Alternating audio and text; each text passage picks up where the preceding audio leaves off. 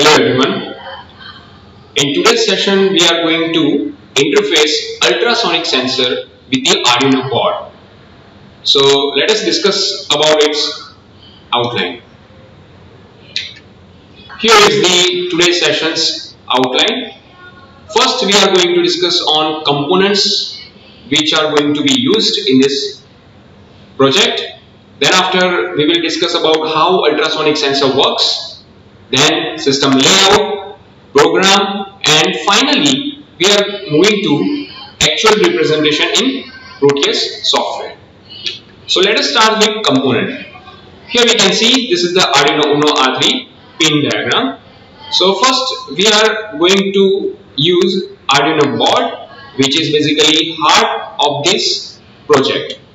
Here we can see USB plug, external power supply so you need to give external power supply to energize this Atmega 328 microcontroller board.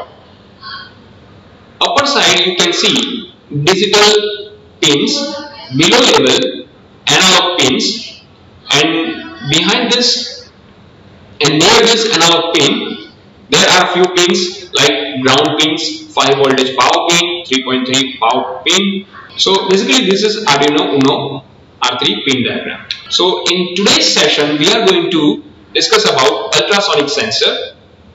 So here you can see this is ultrasonic sensor. Now here one circle this one is transmitter and second one is receiver. So as per its name you can understand ultrasonic sensor that means it sends ultrasonic sound from this transmitter. And it will be reflected back through the particular object or obstacle. It will be received at this receiver.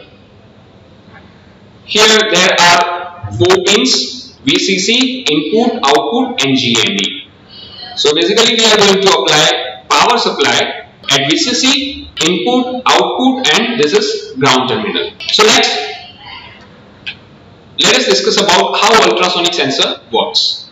So you can see here there are two circles. First one is transmitter and second one is receiver. So basically we are going to use transducer in this sensor which acts as a microphone to receive and send the ultrasonic wave. So basically this is electronic instrument. So current can flow from here to here. Thereafter here in this circle there is a transducer which is going to convert your electrical signal into the sound wave. So through this transmitter it will be transmitted and reflected back to this object. Your sound wave is going to be released from the transmitter and it will be back to receiver like this. Here it is transmitted and it will be reflected back to the receiver like this manner. So the sensor determines the distance to a target by measuring time lapses between the sending and receiving of the ultrasonic pulse. So by calculating the time lapses between the transmission and reception, finally you can conclude the object distance. So here we are going to discuss about system layout. In system layout, first we are going to use ultrasonic sensor as an input. So basically your input will be ultrasonic sensor. So we need to interface with this Arduino board here and in this project we are going to use virtual terminal. Now what is virtual terminal? Virtual terminal is a tool in Arduino. View the data coming from the serial port and to send the data to the serial port. So here it will be receive the data and send the data. That's why here you can see arrow like this. It will be receive the data or send that data to, to the serial port. That's why we are using here virtual terminal. So here you can see this is the program for ultrasonic sensor. First we are going to use integer echo pin is equal to 2 echo pin of ultrasonic sensor. Then integer ping pin is equal to 3 trigger pin of ultrasonic sensor which are which is going to trigger that ultrasonic sensor. Now we are using here void setup serial dot begin 96000 it is using for the data communication or serial communication at 96000 bps pin mode we just have to define pin mode ping pin. That is your output. Here you can see it is on pin number 3 here it is. Pin mode echo pin. That is basically your input. So we just have to define this pin as an input. Then after we are using here void loop long duration inches and centimeter. Digital write, ping pin low delay microseconds 2 so here we have to use digital write, ping pin. Now again digital write, ping pin high microseconds 10 delay write, ping pin low. Now duration pulse in echo pin high because we just have to pulse in function to determine total time that's why we are using this function pulse in inches is equal to microseconds to inches duration and centimeter is equal to microseconds to centimeters duration. Similarly, here you can see serial dot print in inches, serial dot print in serial dot print in centimeter. In stands for it is the short form of inches. Serial dot print in centimeter, serial dot print ln, then delay 100. After that, we are going to use long microsecond to inches. My, so we need to convert microsecond to inches. That's why we are using this function. Long microseconds to inches. Then return to microseconds 74 by 2. Again, we are going to use long microseconds to centimeters. Long microseconds. Because we need to convert this microsecond to centimeters. Return again microseconds 29. So here you can see this is basically ultrasonic project with this Arduino board in which we are going to use here ultrasonic sensor so here you can see this is ultrasonic sensor this is Arduino board and this is your virtual terminal so basically virtual terminal shows you that your object is how far from that particular sensor that's why we are using here virtual terminal now let us move towards Proteus software so first we are coming to the program. Here as we discussed about the program, echo pin and ping pin, it is defined already. So here it is the program. We just need to verify this program and move towards Proteus software.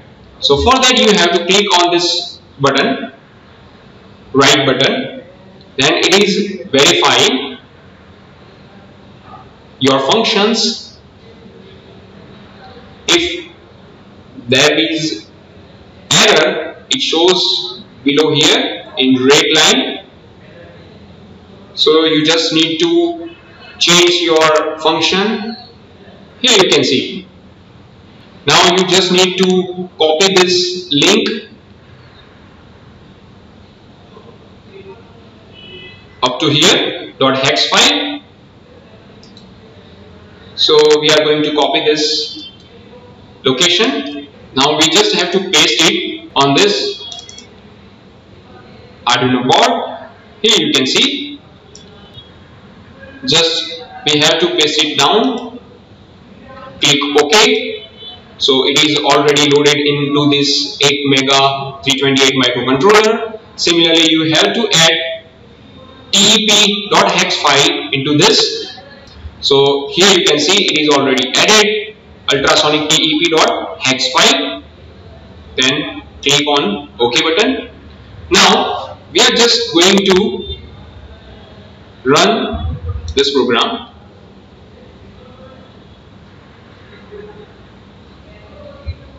here you can see it shows the distance between this here we are using here variable resistance Due to this, it shows you 1 inch and 4 centimeter distance.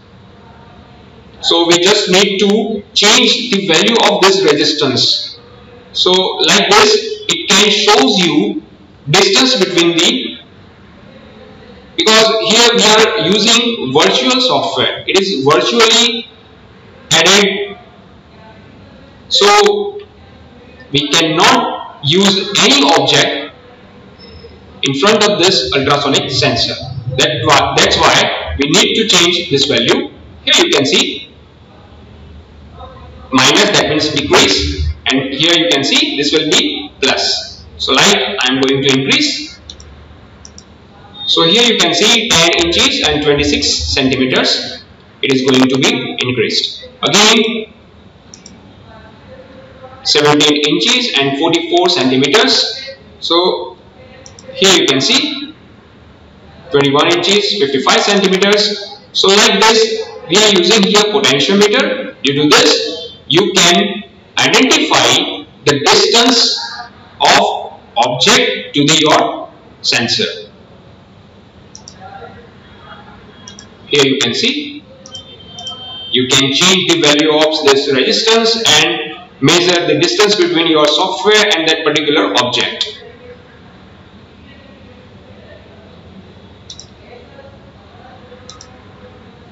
So like this you can interface this Arduino board with this ultrasonic sensor and you can identify the distance between your object and through your ultrasonic sensor. So here we can see this is the interfacing with ultrasonic sensor with this Arduino board. So we have discussed already about this program. So here you can see the COM5 that is basically port serial monitor so it shows us 3 centimeter distance to this ultrasonic sensor like this so whenever we move this object so it senses the distance. Here we can see. So object is moving. Now here you can see distance is increased.